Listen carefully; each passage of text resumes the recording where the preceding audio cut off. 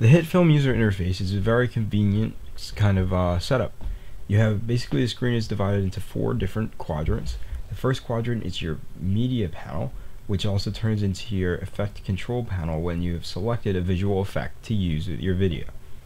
The next panel is where you have your effects, text, and history bars. The effects tab has a number of effects listed below, including keying, 3D effects, um, explosions, that kind of stuff, lightning, um, particle generator.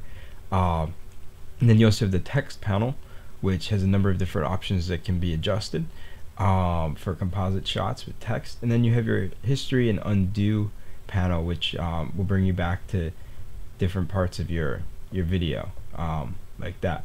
So, um, in addition, uh, your third quadrant would be your viewer quadrant, which can actually be dragged around if you have a second monitor.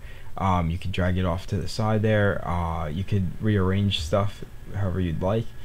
Um, that kind of a thing. It shows it in full resolution. It displays your video. Um, you can adjust your render settings there, some different background options, um, your color, and um, you have the hand and pointer selection tool as well to use with your video so you can position it.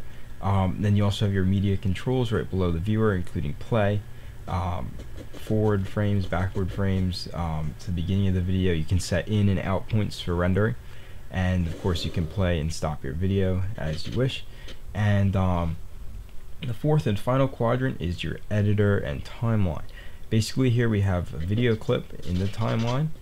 Um, and uh, you have your audio and video tracks. You can add a track by right clicking and insert track.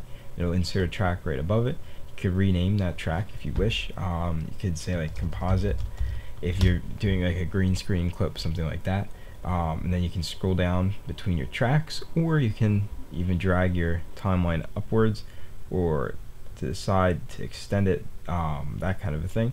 You can also add audio tracks by right clicking an existing audio track and then you can zoom in and zoom out on the timeline with uh, based on your cursor like relative to the cursor.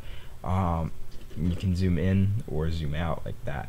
And um, then if you wanted to add some effects you can go ahead you click on your desired video clip on the timeline and click make composite shot. Then you can either use the selected clip or the entire editor sequence and you can move the effects that you've already added to the clip such as um, perhaps color correcting something like that. You can move those or you could just leave them there. So we're going to go ahead and move with the clip. We're going to click on convert and this will create a composite shot with your video. Um, but then you can go ahead and you can add a 3D plane to add 3D effects. You need to create a 3D camera which it'll do automatically. And then um, you can move your footage around like that. You can see the 3D kind of thing um, you could go under 3D effects and you could add an explosion or some procedural fire, something like that. Um, and there's a lot of really cool things you can do.